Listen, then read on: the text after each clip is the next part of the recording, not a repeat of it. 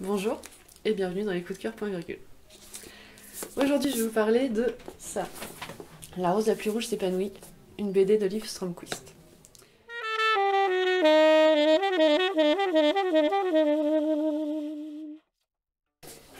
Il paraîtrait que Leonardo DiCaprio a enchaîné une trentaine de conquêtes à la suite sans jamais tomber amoureux. À partir de là, euh, c'est le début de son enquête. Donc la question c'est qu'est-ce que c'est la passion? Est-ce que Leonardo DiCaprio il a un problème et c'est pour ça qu'il tombe jamais amoureux de personne? Ou est-ce que c'est plus profond que ça? Donc c'est la question de base. C'est quoi l'amour? À partir de ça, euh, bah, elle va euh, chercher. Enfin c'est très documenté, c'est très historique. Donc au départ on va parler un petit peu de philosophie et notamment du banquet de Socrate où euh, chaque euh, personne qui était là commence à expliquer euh, pour lui qu'est-ce que c'est l'amour, à quoi ça ressemble, tout ça. Et il y a Alcibiade qui déboule. Alcibiade, c'est l'ex de Socrate. Et qui nous explique pourquoi lui, il est tombé amoureux. Et il est tombé amoureux parce que Socrate ne ressemblait à personne. À personne qu'il connaissait. Et donc, ce serait ça.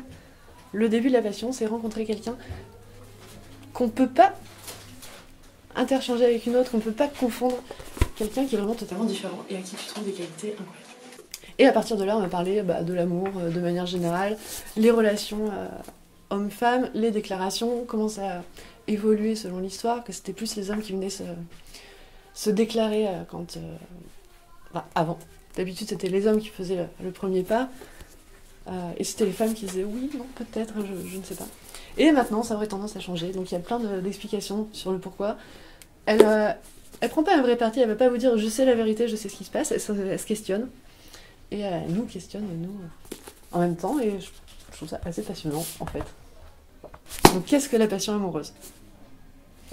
Ensuite, Liv Stromquist, elle a fait d'autres BD, et celle-là que j'aime beaucoup, L'origine du monde. C'est une BD dédiée au sexe féminin. Rien que ça. Donc pareil, euh, c'est très historique, très documenté. Euh, comment ça a été vu euh, depuis toujours, comment ça a été caché, comment ça a été honteux, comment, comment ça commence à... On a le droit d'en parler maintenant, on a le droit d'en faire des BD, quoi. Donc elle est très, très militante, elle est, très intéressante finalement. Euh, Lee Stromquist, elle s'intéresse pas juste euh, aux relations hommes-femmes, enfin aux relations humaines on va dire, elle s'intéresse aussi à l'économie, donc c'est le sujet de grandeur et de décadence. Et, euh, et elle a aussi fait Amory Woman, donc c'est des espèces de portraits de femmes amoureuses qui ont vécu euh, des passions plus ou moins bien à travers l'histoire. Voilà. Enfin bref. Vive, je la kiffe.